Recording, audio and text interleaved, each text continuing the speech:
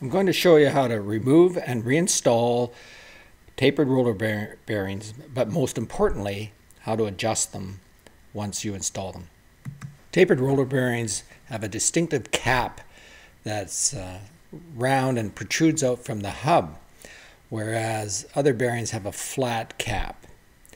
The other, the other uh, way identified tapered roller bearings is that once you open that cap, they're greasy and open to the grease and you'll see a nut and a cotter pin that locks the nut in, in place. So it's very easy to identify them and once you uh, master this, it's uh, very important uh, that they're adjusted properly when you uh, replace them. Once you remove the cotter pin, cage, and adjustment nut, you can then remove the outer bearing and washer assembly.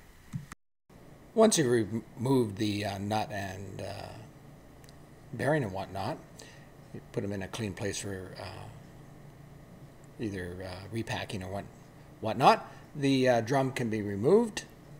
But to understand what you are removing, uh, the tapered roller bearing you can see here is um, got the smaller bearing on the outside. This is upright, but you can still imagine how it is. And you can see the inner roller bearing with the narrow ends of the bearings pointing to each other.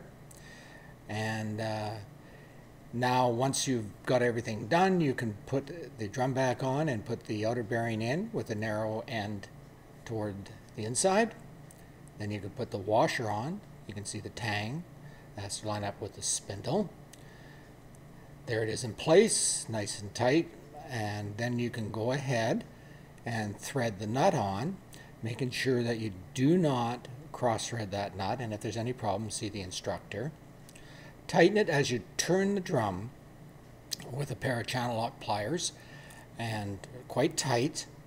And then after you've done that, you back it off with the channel locks so it's loose and once you've done that, you can go ahead and then just tighten it with your fingers. You, quite tight, but tighten it with your fingers. That'll give you zero end play.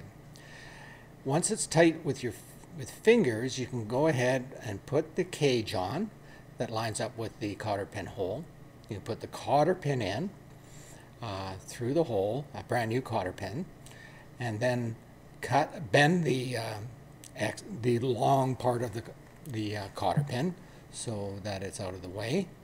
And then you cut the extruding uh, cotter pin out of the bottom so that it doesn't get caught in the um, it, with the cap. Before you put the cap on, make sure the instructor checks it. I will make sure that the cap is secure or the bearing is secure. I can move the nut and there's no end play. And once that's done, go ahead and once you've got the okay, you can tap the cap back on and you're completed.